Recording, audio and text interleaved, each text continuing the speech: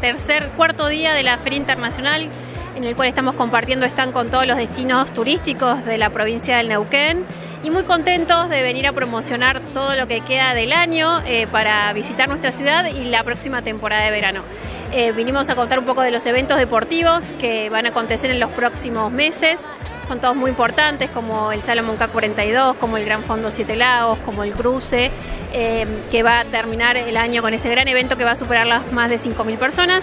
Y luego contarles de qué se puede hacer en verano y las, y las novedades en la que podemos destacar el, senderismo, la red de sendas en la que venimos trabajando hace tiempo y sin duda em, es, la vedette, es nuestro producto em, en el que, cual seguimos trabajando para que la gente venga a caminar, a conocer Villa Langostura, pero aparte disfrutar de todo lo que son actividades lacustres, cabalgatas, disfrutar de la naturaleza a pleno en nuestra ciudad, bueno, que está en, medio del Parque Nacional Lago El Guapi eh, y combina, bueno, esa naturaleza virgen, eh, majestuosa.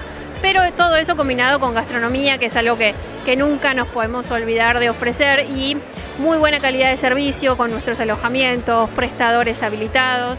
Eh, que siempre están dispuestos a recibir al turista de la mejor manera. Destino donde se destaca el trekking, la gastronomía. ¿Qué le recomendabas a una, a una persona que vaya, que visite por primera vez que no se puede perder sí o sí ahí en el destino? Bueno, esa, esa digamos es como la pregunta clave cada vez que alguien llega nuevo eh, y lo que no nos olvidamos de decir, bueno, ¿qué conozco? La zona del puerto y el bosque de los Arrayanes. El bosque de los Arrayanes es neuquino, es angosturense, está dentro del Parque Nacional Nahuel Huapi, así que es el, el número uno de los atractivos que aquel que llega a nuestra zona no puede dejar de conocer.